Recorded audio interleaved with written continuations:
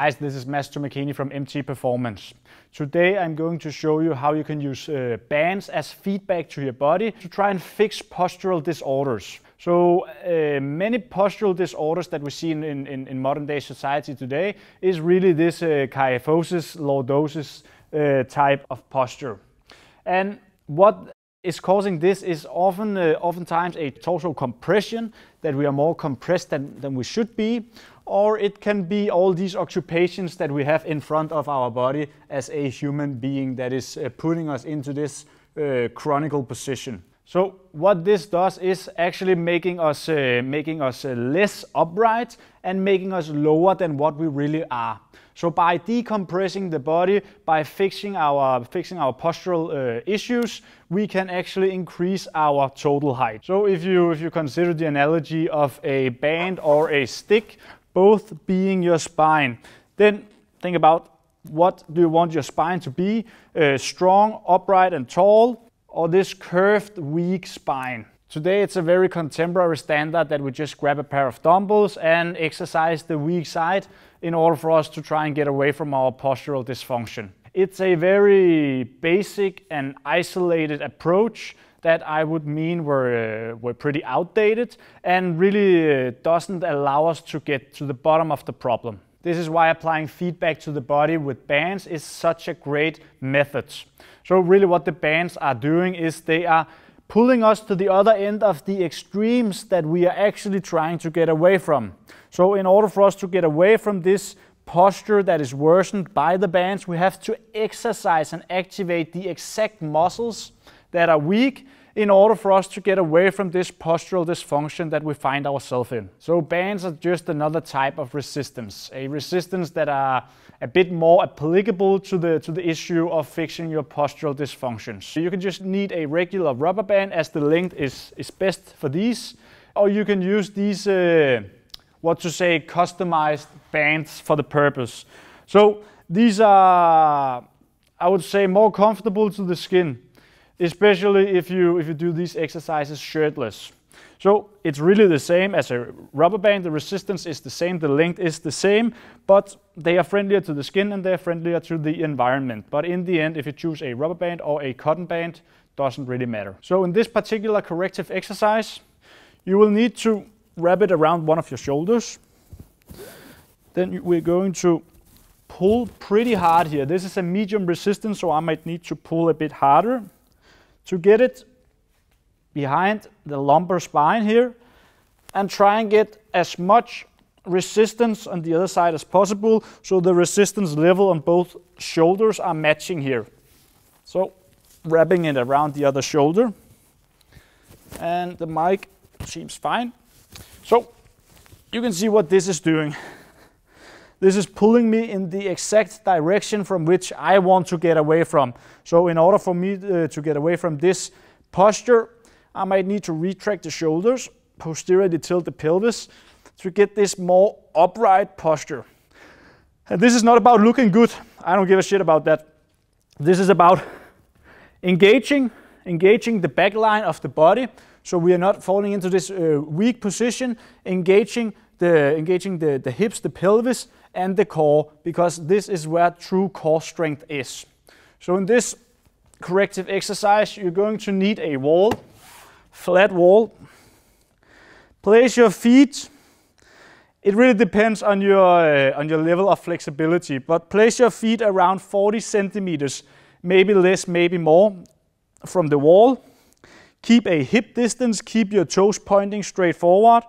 Place your buttocks on the wall place the back of your cranium on the wall. And what you then need to do is try and to uh, try and connect your lumbar spine to the wall by posteriorly tilting your pelvis. And then try and get away from this postural position by spreading your lats, retracting your shoulder blades. So all of the back, um, all of the back is really in touch with the wall as well as the back of your cranium. So all points from the buttocks and up. Try and connect my spine. Stay in this position. And then really the rest is just breathing and keep this uh, constant tension.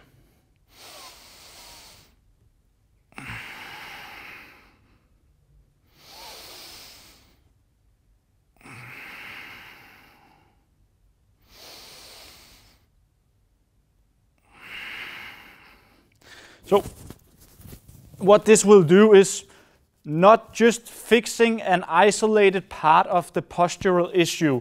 This is what dumbbells would do. Um, yeah, doesn't look so good when I'm trying to get it off. That's what it is with this.